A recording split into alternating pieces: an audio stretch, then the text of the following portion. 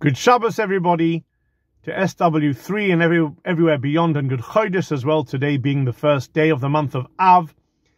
The Parsha this week and in Israel, we finally collide together and reconnect. With us, it's the double Parsha of Matos Maseh, and in Israel, it's just Maseh. And Maseh means journeys.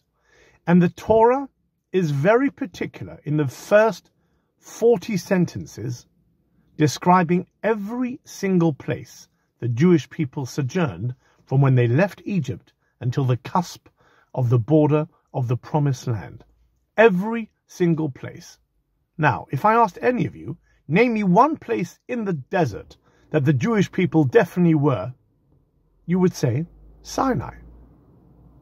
Sinai Desert, Mount Sinai, the Torah, and yet, of all the places, Sinai is not mentioned. Why? Our rabbis give us a beautiful answer.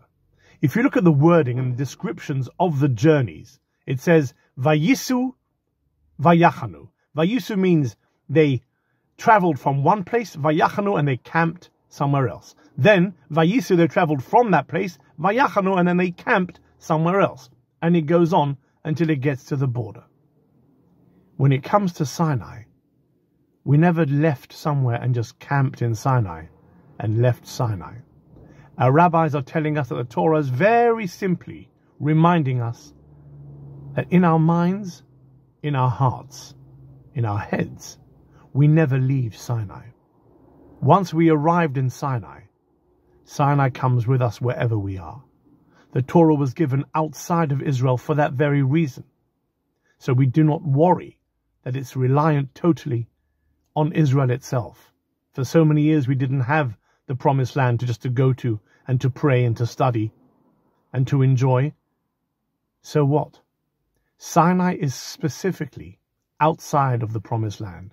The Torah is ours whether we have a land or not. The Torah is ours whether we are happy or sad, whether we are moving physically or spiritually, or whether we are camped in one place. Because we have Sinai, because we have that gift from God. We are and always will be the lucky, chosen few who are there to endure happy times and, during the next nine days, the saddest times of the year. Wishing you all a Shabbat Shalom wherever you are. Thank you.